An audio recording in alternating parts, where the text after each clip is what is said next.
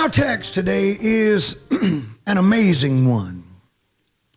It is yet another example, and I want you to hear this, of the role that faith in the Lord and how we respond to the Lord play in our relationship with the Lord. Our text shows the role that faith plays.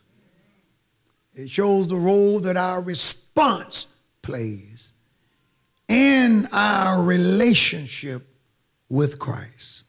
I warned the college students today of something that the Lord placed on my heart Saturday night before last when I was preparing, not this, not yesterday, but Saturday night before last when I um, learned that I had the privilege of speaking to them.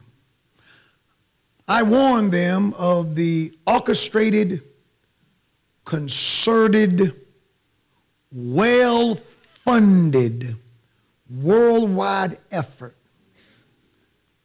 to separate them from their reverence for Christ. Bible teaches that the fear of the Lord is the beginning of wisdom. The fear of the Lord is the beginning of knowledge. We're living in a world where there's a great push towards secularism. America is becoming uh, increasingly secular. There is a there is a uh, a desire. There is there are those who want to silence the voice of the preacher, challenge our religious liberties, confine us to the four walls of the church, and then shut the church down. All in an effort to separate people from the fear of God. It is not, the, the devil is not concerned about your graduating from college um, on top. Amen. You can be the valedictorian, the salutatorian. You can graduate summa cum laude, cum laude, o Lord. Satan doesn't care. He just wants to separate you from the Lord. Lose your fear, lose your respect for the things of God. Um, cause you not to value church and service and worship. I keep telling you, that is what this, this secular push in church is all about. The more secular the churches come, become, the more laid back the churches become, the less reverential they are. When people get ready to go somewhere that matters to them or to do something that matters, people don't look like they're going to the toilet. People don't dress like they're on their way to Walgreens. They fix up because they're on their way somewhere. It is the will of Satan to convince you that church is nowhere. You come any kind of way and you adopt a laid back posture. Uh, you lose your hunger for God. Sometimes you have to work now to just get people to lift their hands because you're not hungry for Him. Amen. I remember being in church when we didn't have praise teams. We didn't need a team to get you to praise the Lord.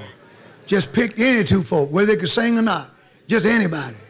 So I want you two to lead devotional service. They get up there, and for the next 30 or 40 minutes, folk testifying, getting up, telling of his goodness, saying a, saying a, a call and response song for about 15 minutes, they testify. And then sometimes you didn't get a chance to sing your song for people because it was in them to tell it. But the spirit of Laodicea, the last epic of the church age, where the saints are filled with apathy, we say that we have need of nothing. See, the comment have need of nothing is not a status, a comment on the financial condition of the person. For there are people who are poor and need everything, but they are apathetic. They will still put forth no effort to improve their position. See, the spirit of apathy is one where you put forth no effort. One of the reasons why I, uh, one of the many reasons I detest all things hip hop. It taught our young men and young women to develop a I don't care attitude. Many cases, they don't even sit up straight in a chair, laid back like you just don't care. Apathetic. Apathy. Then you throw, you throw in there these clowns who are trying to legalize marijuana. Yeah, that's what we need. Something else to rob you of your get up and go. That's exactly what we need to peddle to the people. You already have lost your drive at 25. Something's going on. It has been medically proven that the young men of this generation don't have the testosterone that their father's generation had. The fathers don't have what their grandfathers had. There's something going on. The devil is making us weak.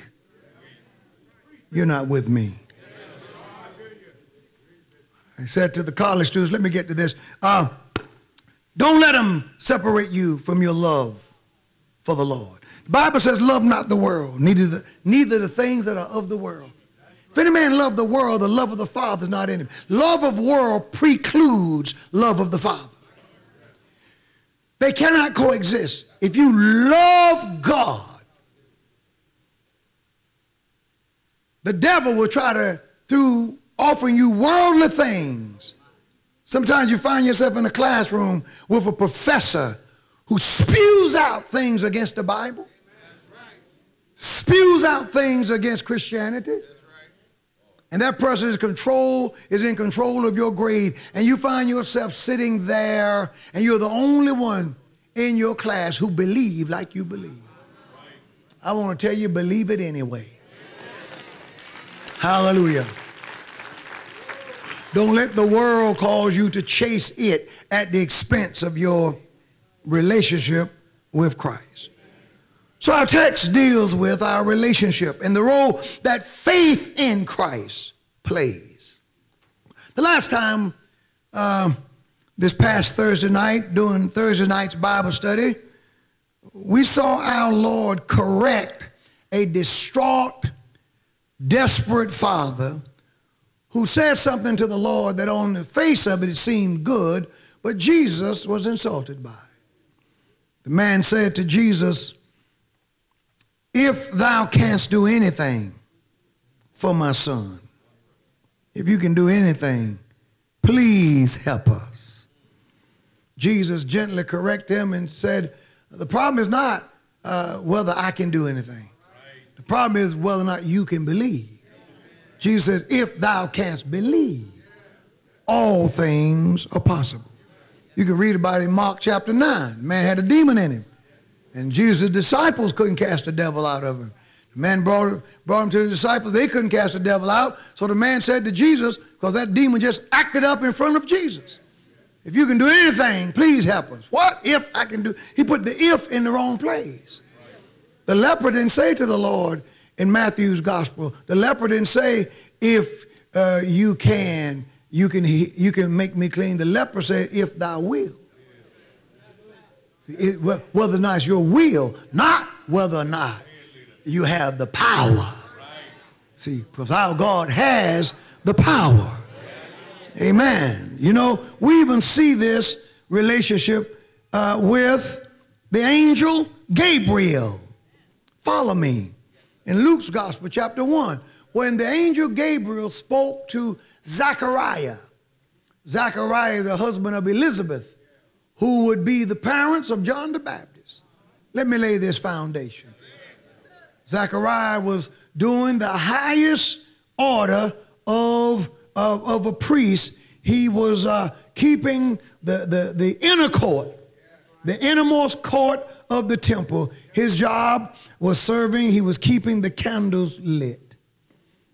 And with the sheer number of priests, uh, you didn't get this opportunity, that opportunity many times.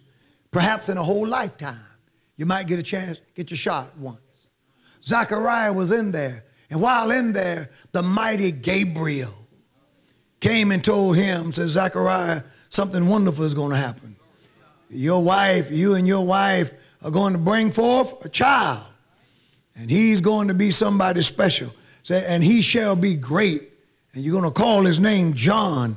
He's going to be the forerunner of Jesus Christ. And just talked about uh, how great John will be. And Zachariah unwittingly uh, insulted Gabriel.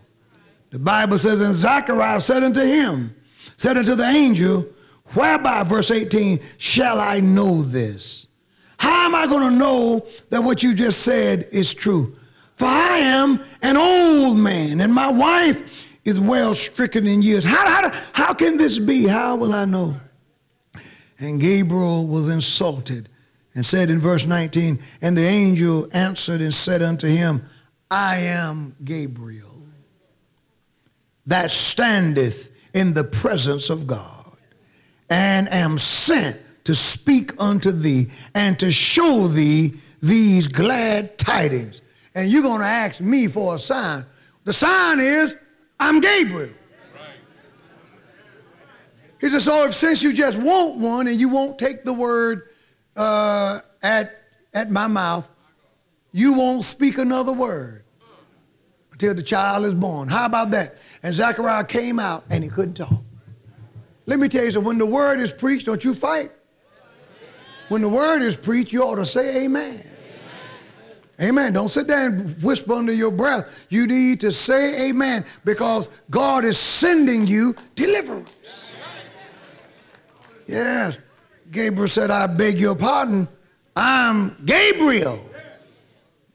Read it when you get home. Another, I beg your pardon, uh, incidents took place in Genesis chapter 17. And, and we also see it in Genesis chapter 18 when the angels, I won't read it, but they promised uh, that Sarah was going to have a child. And Sarah laughed. And the angels want to know what's funny. What's funny? So when God, let me tell you, there's nothing too hard for God. So we, we used to believe that in holiness. Uh, the angel said, wait a minute. Well, why is she laughing? And, and Sarah, uh, she got scared and lied and said, well, well, I didn't laugh. Abraham said, you did laugh. But she wasn't the only one that laughed. In chapter 17, he laughed. And they wanted to know with him. Because he, he said, well, I'm old and my wife is past the flower of her age. And we're going to have a son. And they laughed at God's promise. And those angels said, I beg your pardon. I'm, I'm not trying to be funny.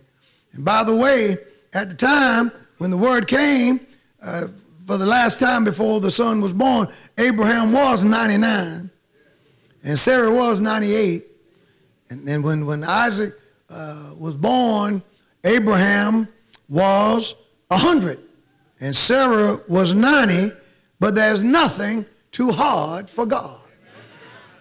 Matter of fact, when God gave Abraham the promise, Abraham said to the Lord, God, won't you just accept Ishmael?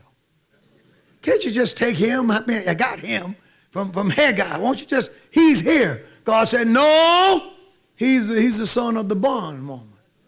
See, that's not what I said that I was going to do. See, to get God's blessings, you don't have to take shortcuts. Just wait on him, and he will do it.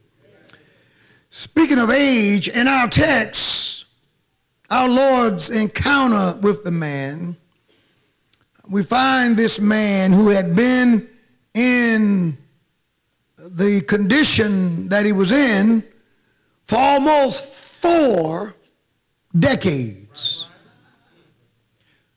Four decades, almost two years shy of four, in a state of paralysis.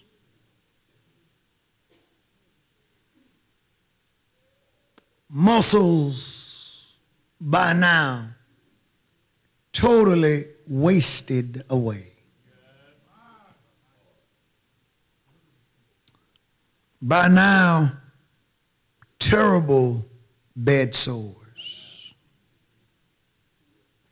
Four decades.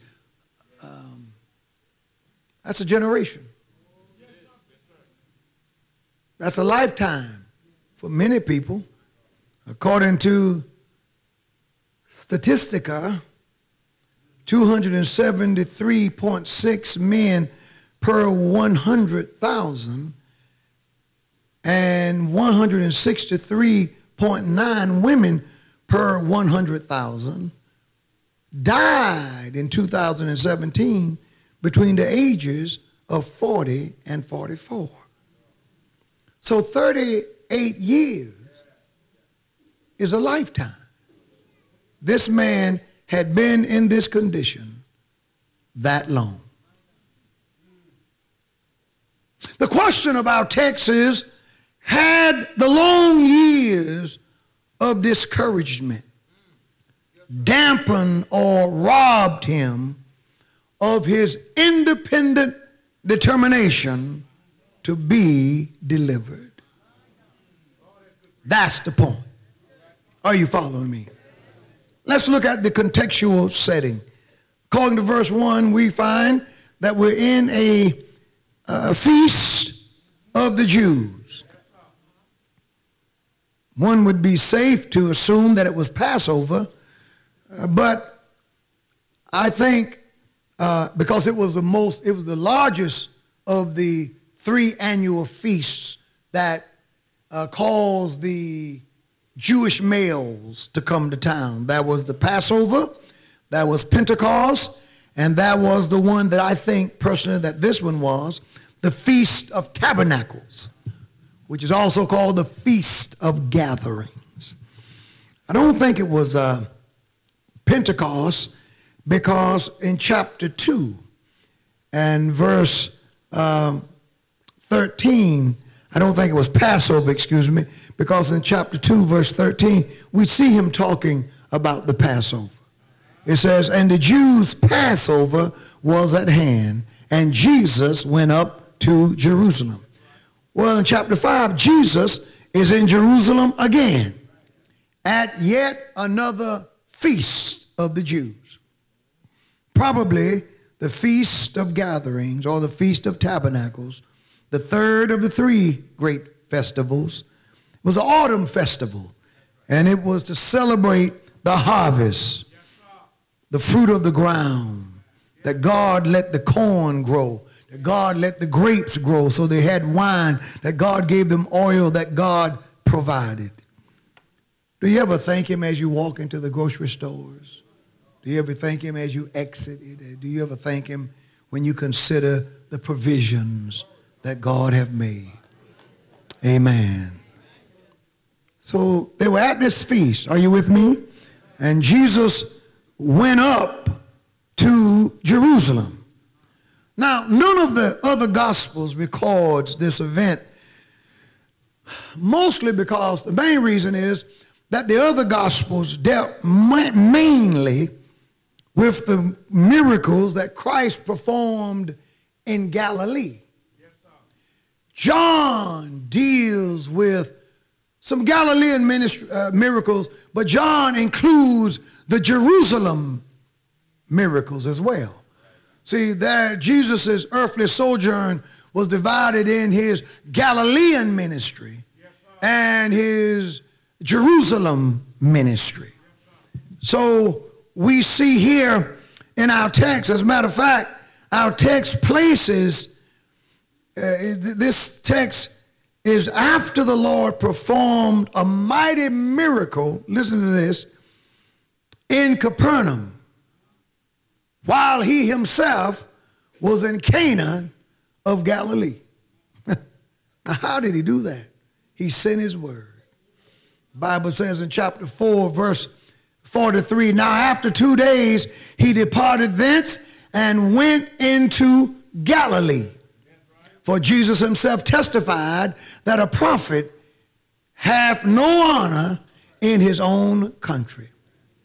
Then when he was come into Galilee, the Galileans, look at this, they received him, having seen all the things that he did uh, in Jerusalem at the feast.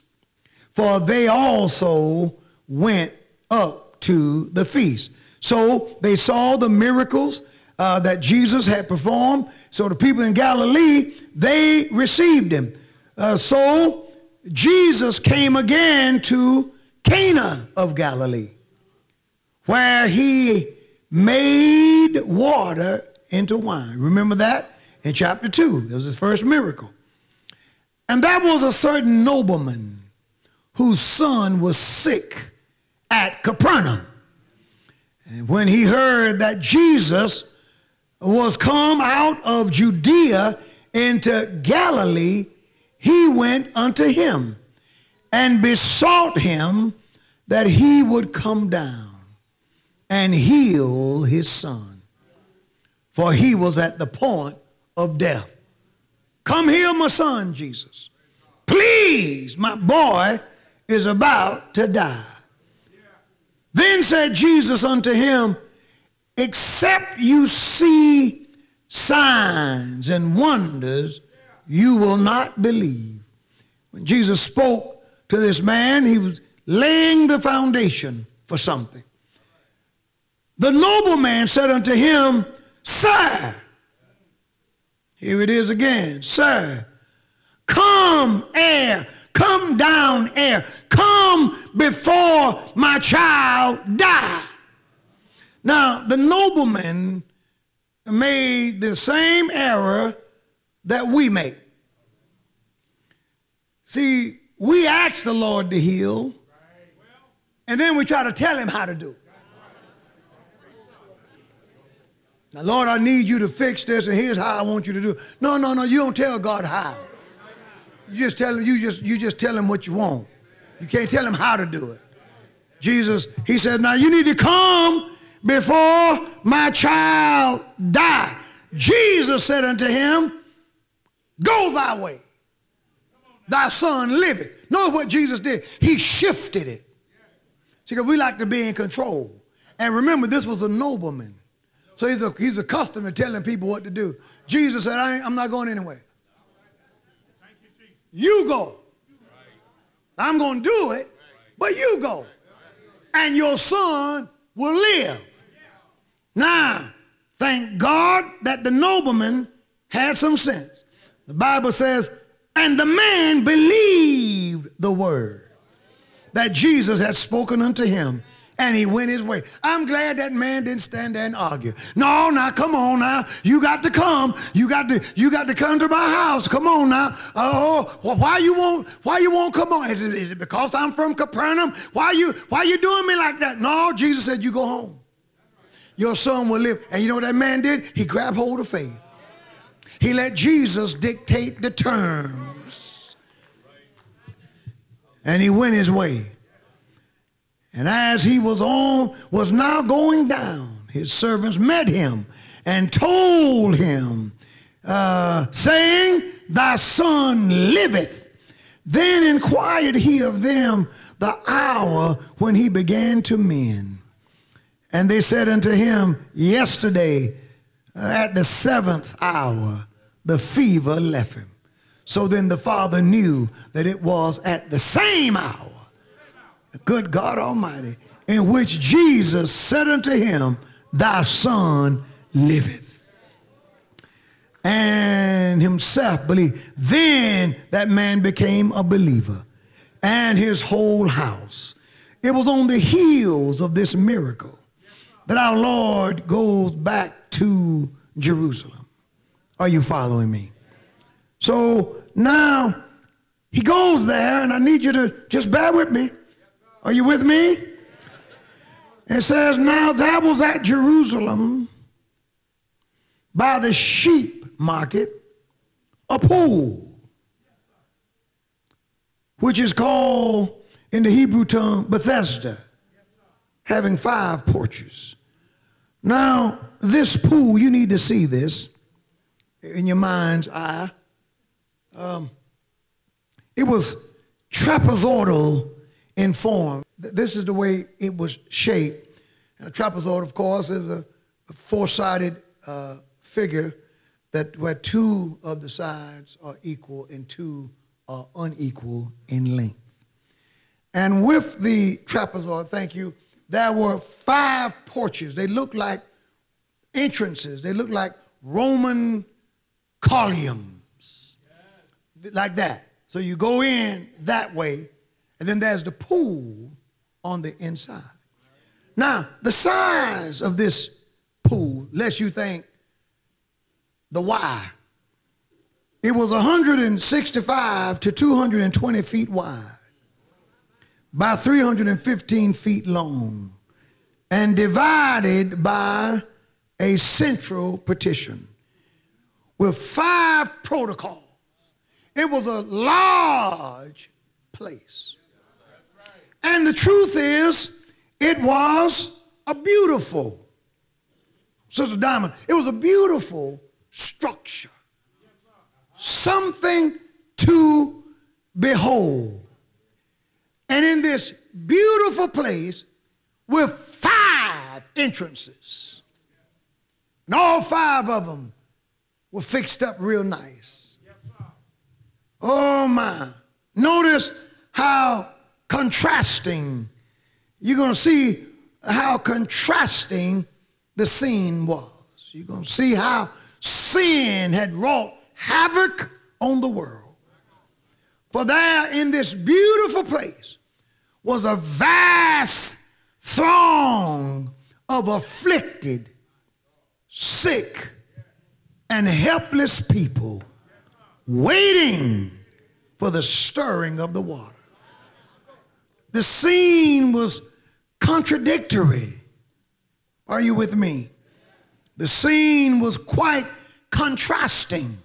The beautiful pool with five entrances, populated by suffering humanity.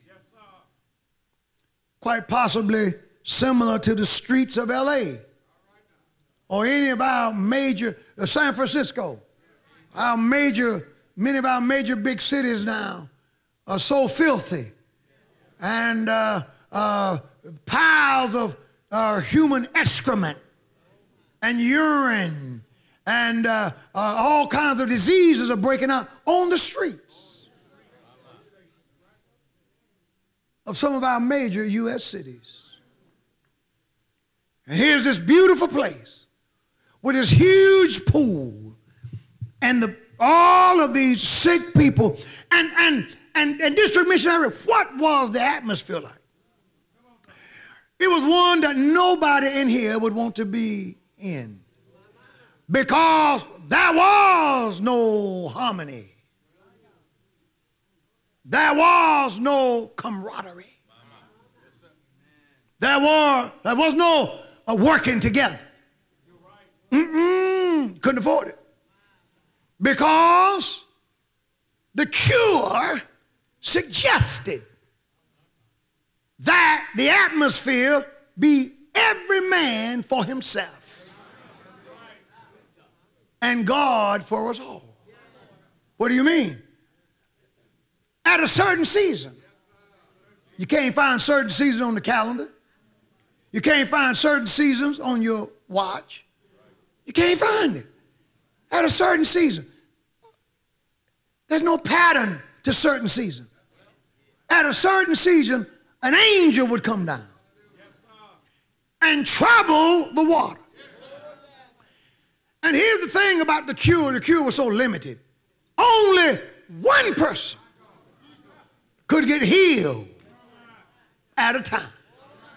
So there is no hint as to when he's coming. There's no pattern as to when the water would be stirred. And everybody knew uh, once the water was stirred, only one person could get healed. So nobody was there to help someone else get into that water. Now, I would allow for perhaps there were some sick folk there who had uh, well family members. Well, they're sitting around watching the water. But you know what? There's another sick man with family members. They're watching the water. And Lord have mercy on the sick folk who had no family. They were watching the water, but they knew they didn't have a chance. The bathroom situations were not like what we're accustomed to today. The disinfectants, the medicines to address bad sores, and oh my, none of the modern things that we're accustomed to today and caring for those who need care were in place at that time. Can you imagine the stench from the place? The dysentery that was there, and uh, the utter hopelessness that was there. Can I get a witness?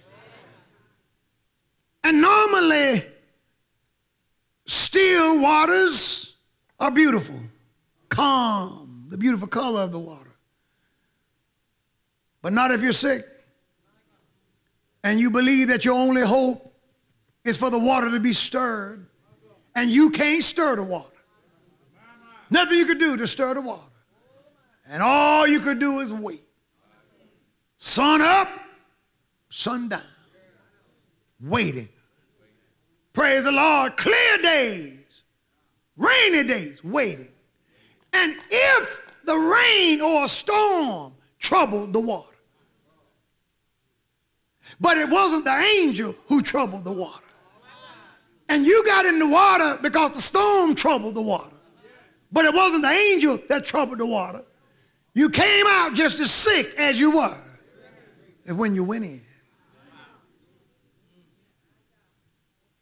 It was a terrible place. Jesus goes there. Can I get a witness? And you know what he does? He goes, as he walks in, ah, he walks past many of them. We're not told the number of folk. We're just told that there was a great multitude. So it was more than five or six. Could have been hundreds. Mm-hmm. And he walks past them and he goes to this man. One writer said that he went to the worst case. Notice how the writer, for those of you who love the Bible, the scene shifts from a large crowd to just one man. Goes from showing us all of these sick people and it boils down to one single solitary human being in the midst of a vast throng. God looked at one man. I'm glad that day at the temple church of God in Christ, all them folk that was in there, the Lord saw me and the Lord saved me. To my knowledge, Mother turned out the only one that got saved that day, but he saw me Aren't you glad that he saw you? When he saw you, he looked at the world, but he saw you.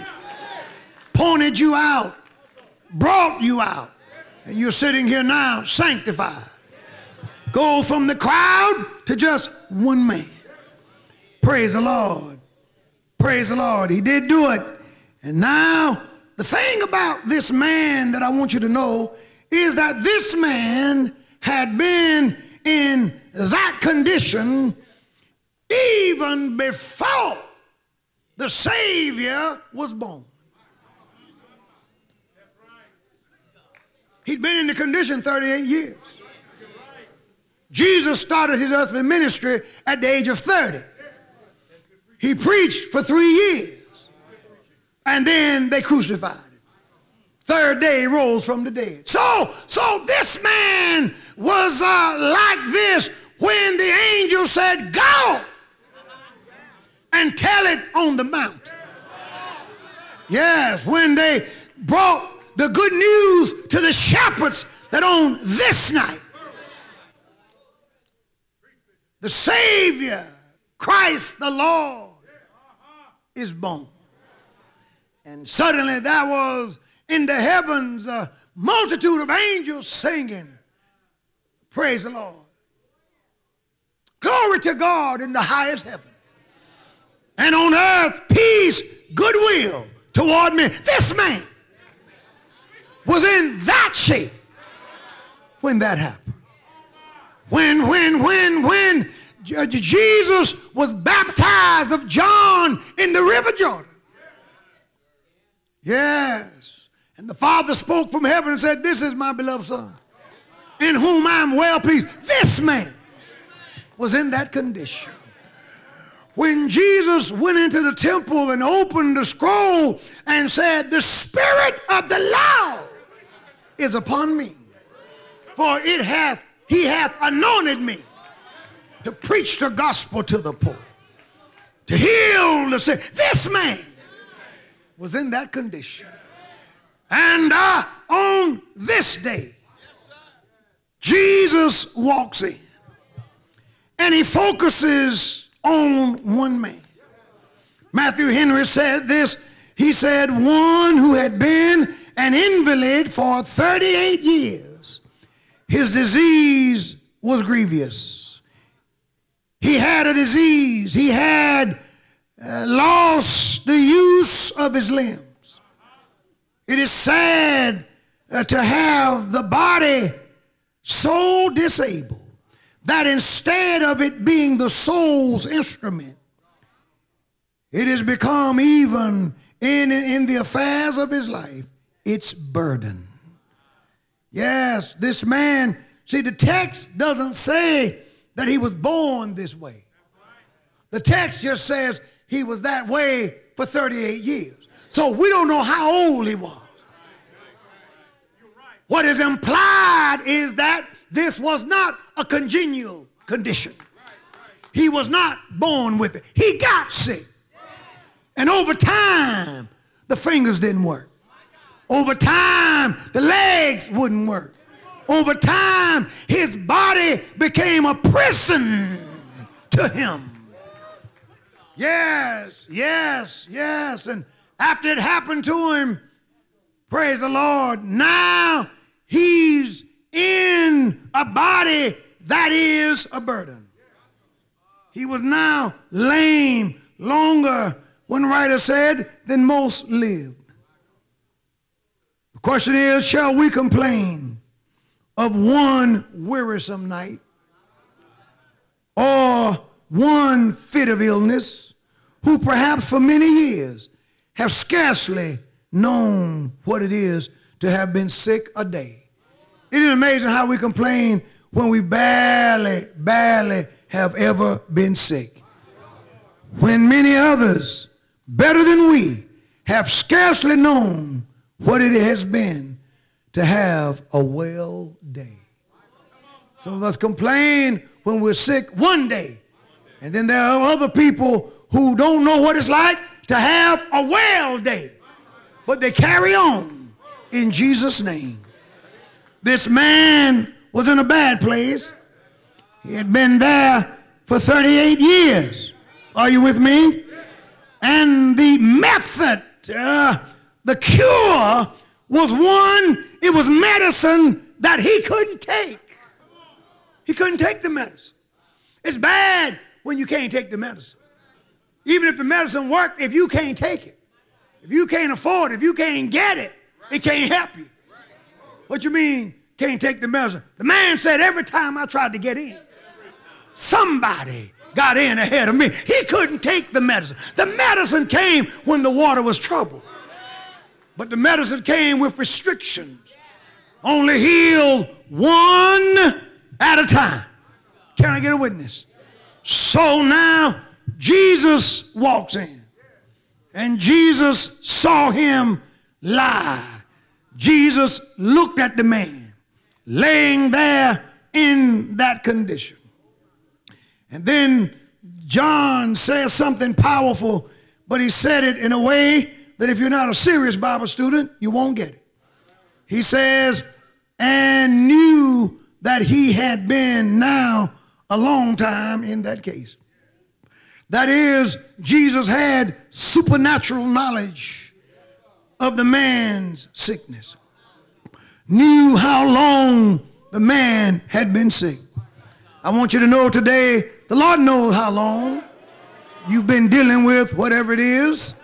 Oh, I know what you're saying. It seems like it's taking so long. God knows how long it has been. And the Lord won't let it last too long. See, if it's still going on, that's a sign that it's not too long. So that means you can, you can handle it because there have no temptation taken you but such as is common to man. But God is faithful who will not suffer you to be tempted above that you are able, but will with the temptation provide a way for you to escape it. You ought to throw your hands up and say, I can take it. Because when, it's, when it has been too long, my God, the Lord will come in and make it right. Yes, sir. He knew how long that man had been there. And so Jesus asked the big question. We're getting ready to go home. We got to go to the salt of the earth. Jesus asked a question that uh, if you're not spiritual, you would look at him and go, duh. But it was a very intelligent question. Praise the Lord. Many uh, doctors have asked their patients this question. Many people who work with people in rehab have asked uh, those who are in recovery the same question. Because sometimes a person can be in a thing for so long that they become their own worst enemy. Why are you still drinking? Why are you still smoking? Why are you still dilly dallying? Why are you still fooling around? Don't you want to live? Don't you want to be made whole? Why are you in class and you won't pay attention? Don't you want to be somebody? It was a reasonable question. You want to be respected? Why you still playing? You want to you want to live? Then why play Russian roulette with your life? Don't you want to be made whole? Jesus looked at that man and wanted to know if that man had succumbed to his illness. It was a question of the man's will, not of Christ's ability, but of that man's ability. Many mothers, many fathers have struggled with their children with the same question. You scratch your head when you see the behavior of a son or a daughter who is doing something that they know is against their best interest and you you look at them and you ask them don't you want to be somebody bring me up on my monitor here. You ought to look at your neighbor and ask them, don't you want to be made whole? Mm, Jesus wanted to know, oh Lord, have bedding down. Some people are bedded down with their alcoholism or their heart trouble or partial paralysis or whatever. They become psychological and spiritual invalids, treating, uh, retreating within themselves. Some have allowed their trial to get the best of their minds. Jesus wanted to know, hallelujah, what do I have to work with? Avoiding responsibilities, becoming more and more self centered as they demand sympathy from others. Often, while dealing with these kinds of folk, whether in the hospital or the doctor's office, whether at a rehab clinic, you can't help but ask them, Do you want to live? Do you want to get well? There have been people in the hospital dying from lung cancer, and all they want is another smoke, another drag off the cigarette. Here you are with cirrhosis of the liver and you still want another drink. Well, Lord, you're sick, but you won't take the medicine. Mm, you have to wonder, don't do you want to live? Do you want to be somebody? Why you running around with that wrong crowd? Why you running around with those gang bangers? Why you running around with them sissies and lesbians and homosexuals? Don't you want to be straight? I want to know what do you want because it seemed to me there's something uh, that's not congruent. that, that, that, that, there's a behavior that doesn't line up with what you say you want. Oh Lord, you say you want to be somebody. You say you want to be healed, but you won't come to the altar. You say you want to go to heaven, but you won't even come to church. You say you want to get right, but you won't do right. You say you want to be a man of reputation, but every time we look around, there you go over in the corner somewhere. My question is, do you want to be made whole? Oh, Lord. I wonder as we talk to the college students I was sitting there as Elder Amanchuku made his presentation, as First Lady Wooden and uh, uh, Elder Wilson made their greetings, as Elder James Faison talked to them about the investment that is made in them. As the cooks cooked and as the saints worked, I thought about the bags and the baskets that had been prepared on Thursday night, the saints that have gone out and bought things to give to the kids to show our support. But I know this that no matter what you do, if that person don't want to do right, all those things will come to naught. But if you got do right in you, oh, if it's down in your soul, the devil can't stop you. I've made it this far because I want to be saved. I want to serve the Lord. I want to be a Christian. Do I have anybody here who really, really want this thing? You want it like you don't, like you've never wanted anything else. You want it like you more than you want to live. If you really want to be saved, if you really want to be whole, ah, lift your hands and tell God thank you. Tell God thank you. Thank you, Jesus. Jesus said, Do you still want to be made whole? Is there still an independent determination in you? What was the question? The question implies that Jesus said, I know that two years into your condition, you still believed that you would walk again. I know three years into your condition, you believe that perhaps you could get to the water. And I know seven or eight years ago, you had to feel something because while you were here, oh Lord, in the city of David, in a manger, I was born, oh Lord, but it's been 38 years. I want to know, after all this time, is there something in you that tells you I can still get up from here?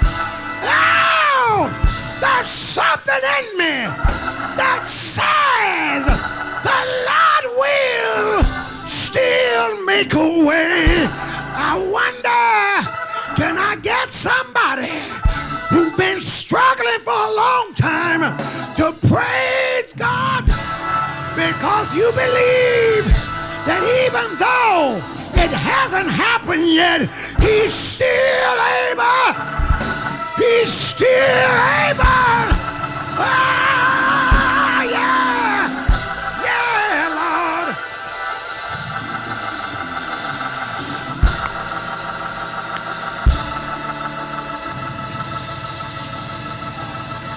Woo! I'm gonna have I got, I got to break my own rule today. You got to grab somebody by the hand and pull them and say, it can still happen. It can still happen. It's not too late. It's not too late. Yeah! That man didn't know that Jesus was going to stop by, and that man didn't know. You know something? He didn't know who he was talking to because Jesus didn't identify himself. He just walked in and began to have a conversation. The reason I know that the man didn't know who Jesus was is because when Jesus asked him, Do you want to be made whole? The man's response was a good one. It was a good one. Hallelujah. He treated Jesus with respect, but he did not worship him. He didn't say rabbi. He didn't say Lord. He didn't say master. He said, Sir, Sir, I ain't got nobody. Sir, I've tried down through the years, and sir, I almost made it. But when I was almost there, somebody got in ahead of me.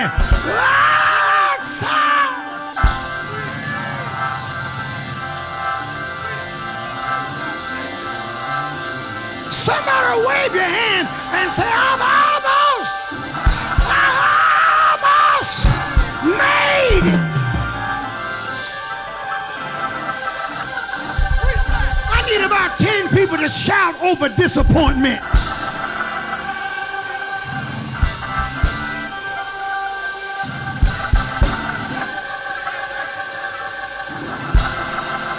And praise the Lord in the face of your disappointment in the face of them almost, almost, near miss, just about.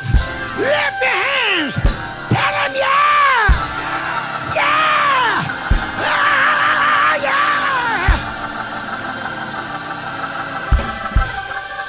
It hadn't even happened yet, but you're praising him anyhow. It even hadn't even happened yet, but you know that God is able. And when the time is right, He's gonna do it. You see a note of self pity in his answer, but it really wasn't pitiful. It wasn't self pity as much as it was a description of the way things were. And you got to understand, in his mind, the paradigm was, the cure was, the solution was that you got to go, you got to get in the pool, and you got to get in first.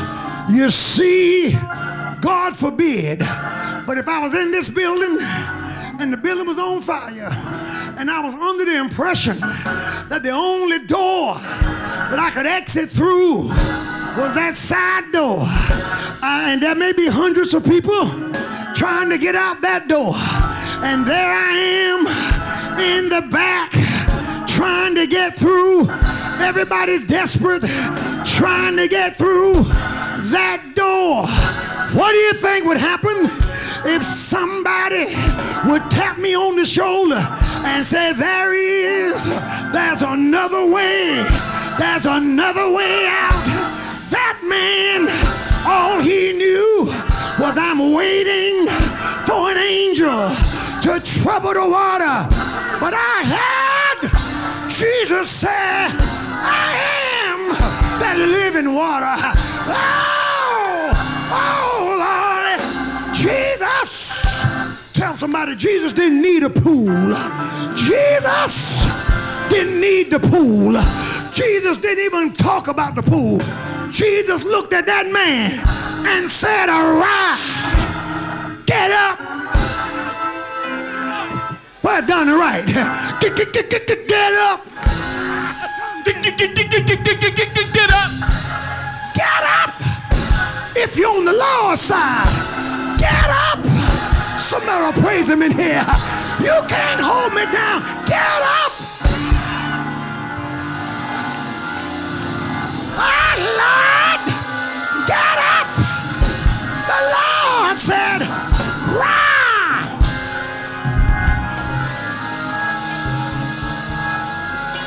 Roll up that cart and walk. Get up. And you know what happened? To show that he is independent.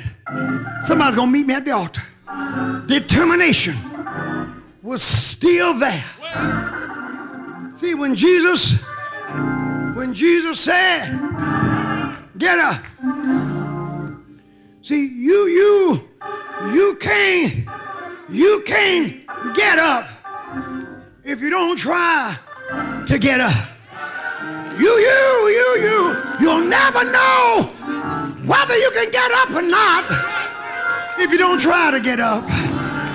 When the Lord said, get up, that man didn't say, I can't. That man didn't say my legs won't work. That man began to, good God Almighty, I think I can. I believe I will. I'm getting up from here. Oh, somebody. I wonder if I have anybody here who will say, I'm getting up from here. I've been where I am long enough. I've been struggling long enough. The devil been trying to hold me down long enough. I've been slipping and dipping long enough. I'm going to get up.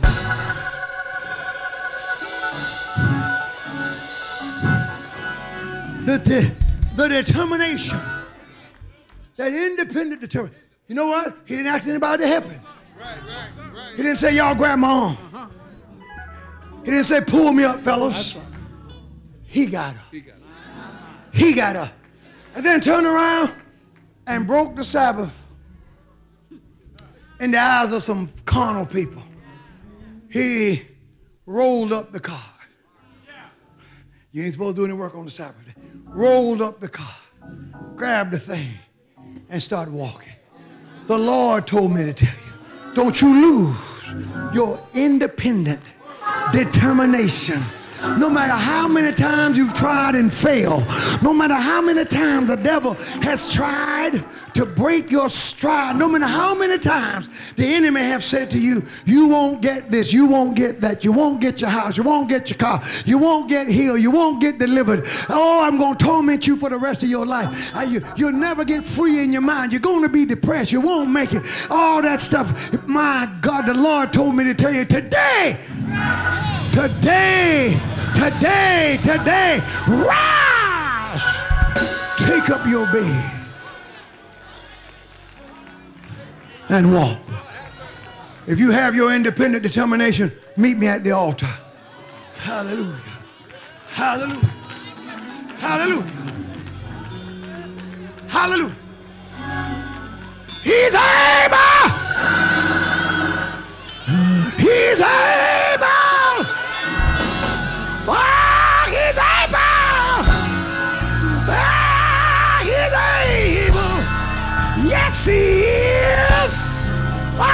Is.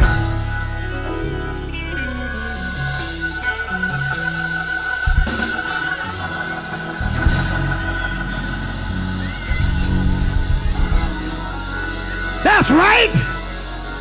Thank you.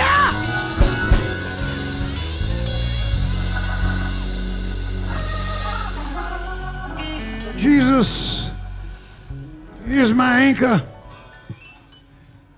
and it keeps my soul. In him I'm steadfast while the billows roll. I am secure even when the wind blows. He's my anchor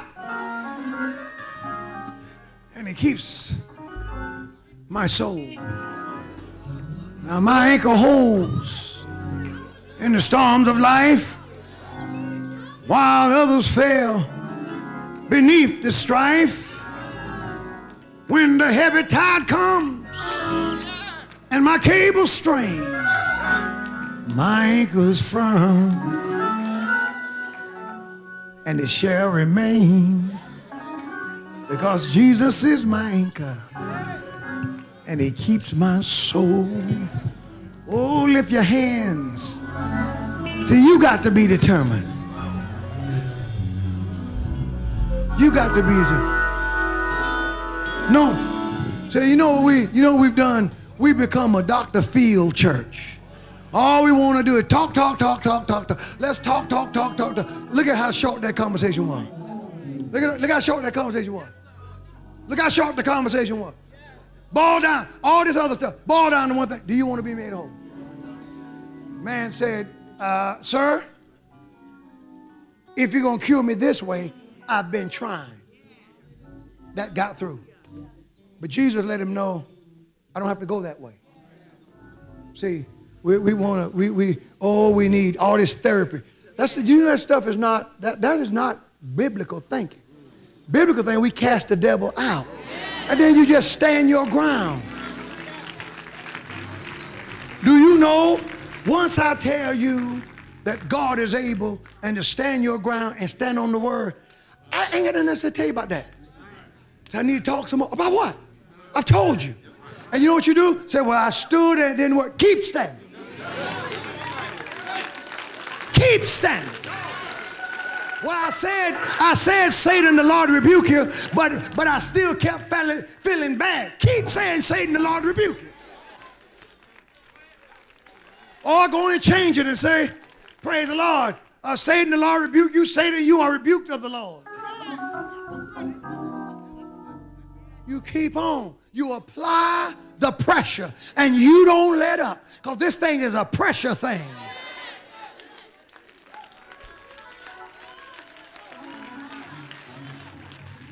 Pastor, I need to talk to you some more because I need another word from the Lord. I don't have another word. I told you what the Lord told me to tell you. And if the Lord tell me something different, you won't have to call me. I'll call you. Jesus said, Do you want to be made whole? Who want to be made whole? Who still have that determination? Father, Jesus, you said today that somebody would take up their bed and walk.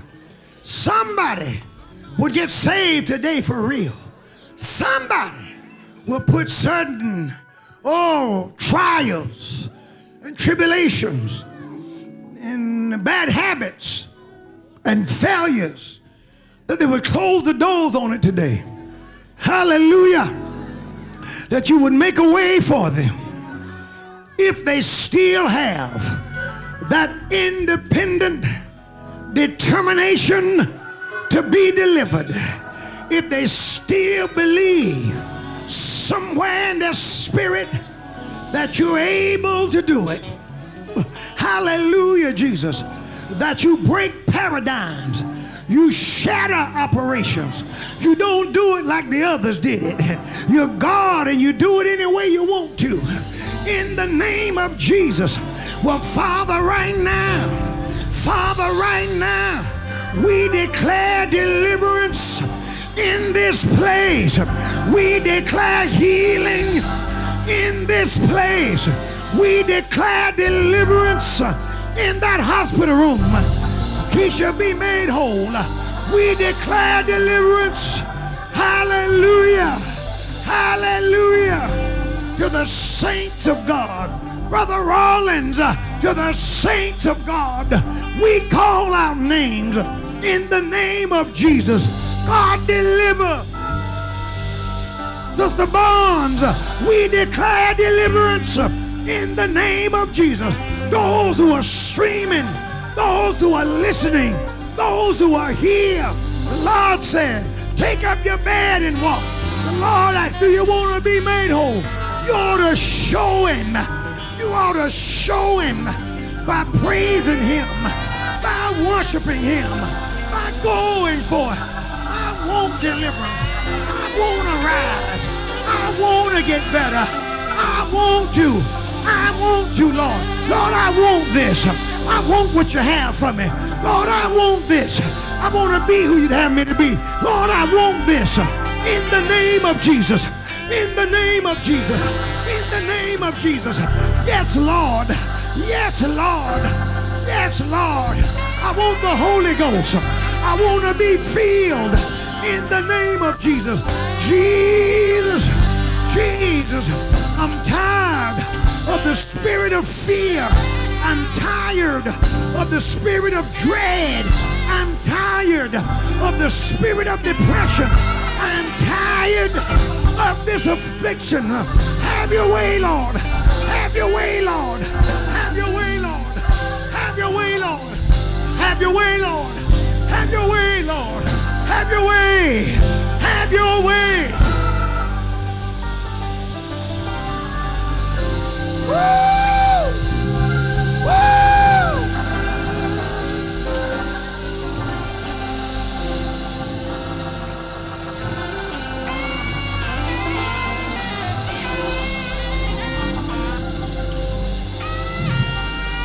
Somebody's getting blessed right now. Somebody's getting blessed right now. Somebody's getting blessed. I'm ready to be saved. I'm ready to be saved. I'm ready to let loose. I'm ready to let God have his way. I'm ready. I'm ready. Ready, ready, ready. Ready, ready. I've been on the perimeters. I've been playing church. I've been playing with this thing. But I ain't playing no more. Save me, Jesus. Deliver me, Lord. Rescue me.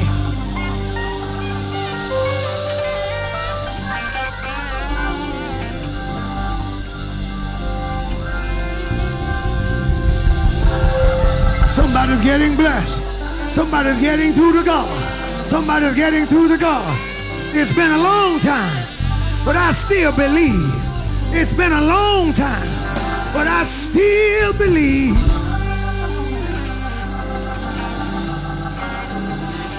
Glory, glory, glory, glory, glory, glory to God. That's right, Brother Little. Praise him up there. Got his hand lifted. You ought to praise God with him. The devil, they've, the, oh, they've written him off a thousand times. Supposed to have been, been buried by now many times, but he's a fighter. He's a fighter. Woo! Do I have any fighters in here today?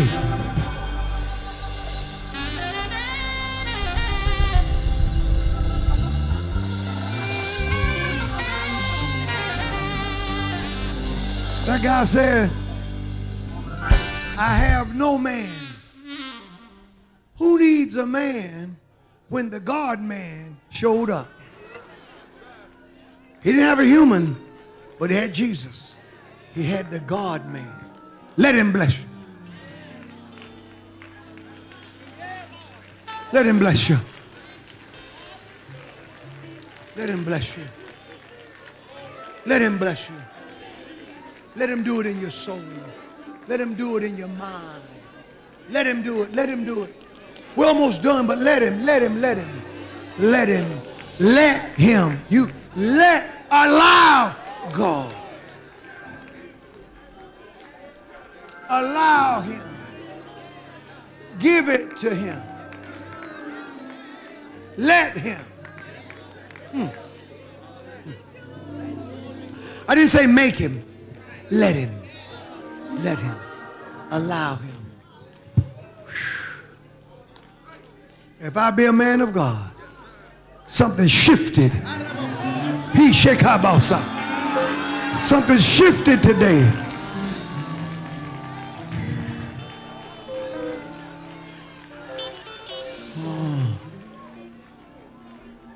More trapezoid pool for you. Go home. Go home. Go home.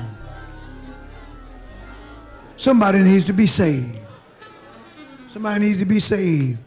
Somebody got saved five times. Now it's time for you to get saved for real. We'll pray for you right now. Lift your hand. The Lord will save you. Where are you? I'm ready. I'm ready. I'm ready. I'm ready. I'm ready to give up everything. Everything to serve the Lord. Hallelujah. He'll save you. He'll break every yoke. And when the Lord make pleas like this, they're never made on this order for nothing. When ignored, the time won't come back.